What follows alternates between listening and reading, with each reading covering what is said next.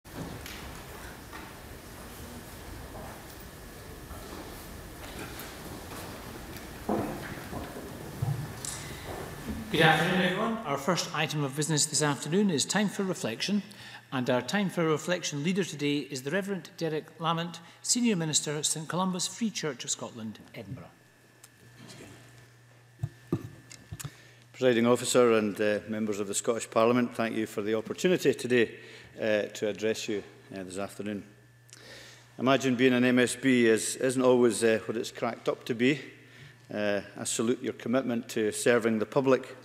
I'm sure you're often misunderstood and sometimes misrepresented, and that can be isolating. You work unsociable hours, commuting far and wide, staying away from family and friends, listening to everyone else's problems, shaking a thousand hands. I'm sure you're wary of letting your uh, guard down with the media and being too personal. A bit like being film stars, really, but I'm not sure if you think that's the case. The leadership can be a lonely place.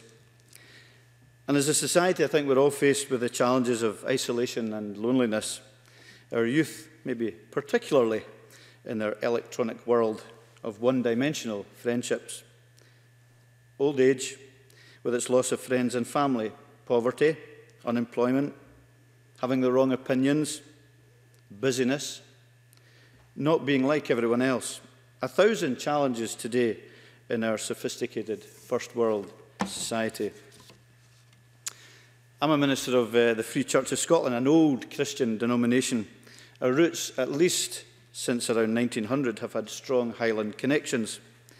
But we do aspire now to be a church for the whole of Scotland, and I value greatly the privilege of having been the minister of St Columba's in my home, church, in my home city of Edinburgh for the last 16 and a half years and your neighbour uh, at the top of the mile.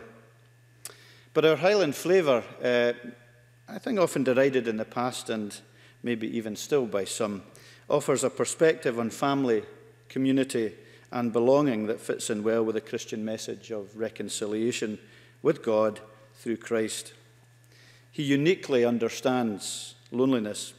As the book of Isaiah prophesied of his short life, he was despised and rejected. His death and resurrection, celebrated uh, by the Christian community recently at Easter, offers an end to spiritual desolation and loneliness and inspires us to live and love others sacrificially. But we love community and uh, we hope that through our commitment to it, as we open our hearts and homes to all, whatever their convictions, religion, ethnicity, orientation, or politics,